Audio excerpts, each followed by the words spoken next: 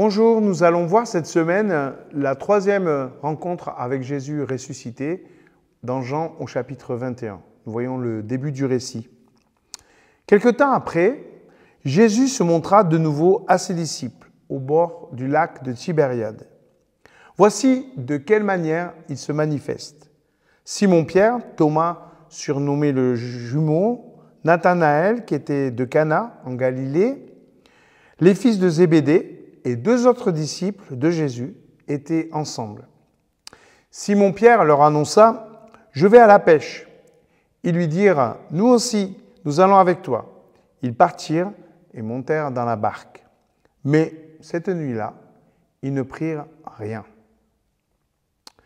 Ils sont sept, c'est Pierre qui a l'initiative, sept comme une équipe de rugby, sept comme un équipage de marins.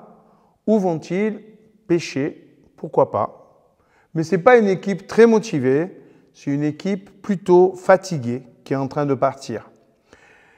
Et puis, il y a cet échec après toute une nuit de pêche. C'est le genre d'événement qui vous fait regretter votre nuit perdue. C'est un temps de bilan. Toutes ces années avec Jésus ne sont-elles pas aussi des années perdues? Pourtant, au lever du soleil, on le verra à la suite, Jésus va venir les rencontrer.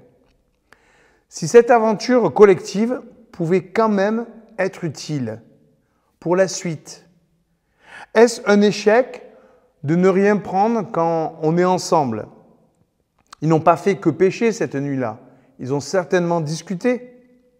C'est peut-être d'ailleurs la raison pour laquelle ils n'ont rien pris.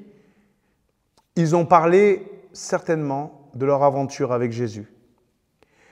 Il y a des temps comme ça où l'objectif n'est pas d'être efficace, mais de se poser les bonnes questions, de se retrouver, de se poser, chacun avec lui-même, mais aussi avec les autres. Pourquoi Jésus est-il venu me rencontrer, nous rencontrer? Quel est le sens de la mission qu'il m'a donnée, qu'il nous a donnée? Est-ce que nous retrouverons, nous nous retrouverons avec le Christ ressuscité? Oui, parce que ils l'ont rencontré déjà deux fois. Mais que faire de ces rencontres? Alors ils expriment leurs regrets, leurs secrets, leurs velléités. La résurrection de Jésus remet tous les compteurs à zéro. Ce n'est plus ce qu'on a fait qui compte. Jésus nous a pardonné, il s'est révélé, il a anticipé. C'est ce qu'on va faire, c'est ce qu'il va faire. Il va nous envoyer dans le monde comme il a été envoyé vers nous. Et si au lieu de voir ce que l'on aurait dû faire, on regardait à ce qu'il nous demande de faire dès aujourd'hui.